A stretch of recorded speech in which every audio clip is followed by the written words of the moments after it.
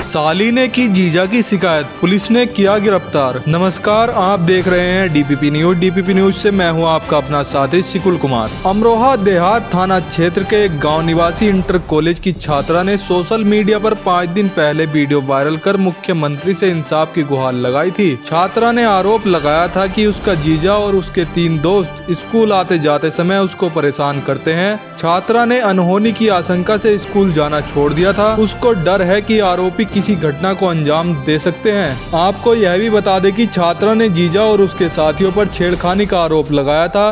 वहीं छात्रा के पिता की तहरीर पर पुलिस ने जीजा के खिलाफ छेड़खानी व अन्य धाराओं में एफआईआर दर्ज कर ली थी। पिता ने अपने दामाद पर नहाते समय बेटी के अश्लील वीडियो बनाकर ब्लैकमेल कर गलत काम करने की कोशिश करने का आरोप लगाया था। पुलिस के मुताबिक तहरीर मिलने के बाद आरोपी जीजा नरेश को गिरफ़्तार कर जेल भेज दिया गया है। यदि आप भी अपने गाँव, शहर, गली, मोहल्ले की खबर हमारे चैनल पर चलवाना चाहते हैं तो हमारे WhatsApp number seven four zero nine seven two zero nine four seven पर संपर्क कर सकते हैं। हमारे साथ बने रहने के लिए धन्यवाद नमस्कार।